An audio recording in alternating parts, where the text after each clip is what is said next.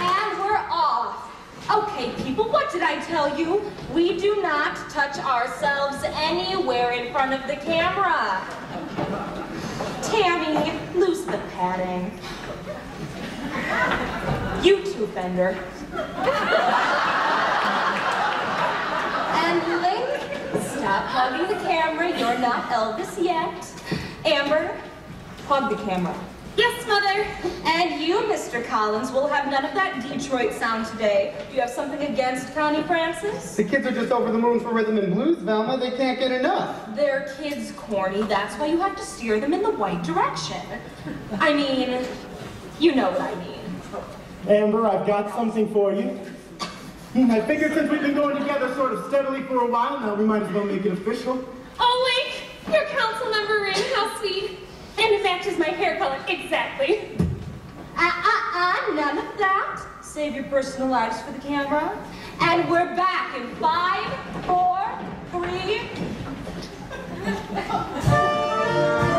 Now, don't forget, guys and gidgets, we are, our first Primetime Spectacular is coming up on June 1st. We'll be live at Baltimore's brand new Eventorium, broadcasting nationwide. Talent scouts will be on hand from all the major network labels, and sponsoring the event is none other than our own Ultra Clutch Hairspray. So let's give a great big fawning Baltimore salute to the president of Ultra Clutch, Harriman F. Spritzer.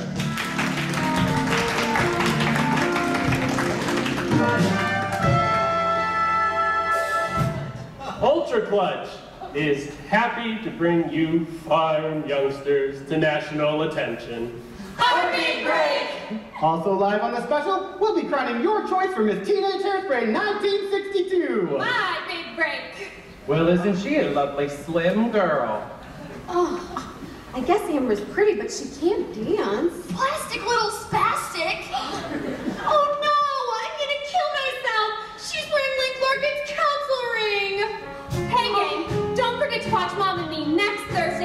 Mother-Daughter Day.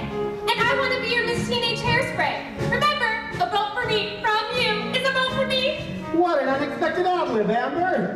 And speaking of expecting the unexpected, our very own fun-loving, free-willing Brenda will be taking a little leave of absence from the show. How long will you be gone, Brenda? Nine months. So it seems like we'll have an opening for a girl who's just as fun-loving, but maybe not quite as free-wheeling.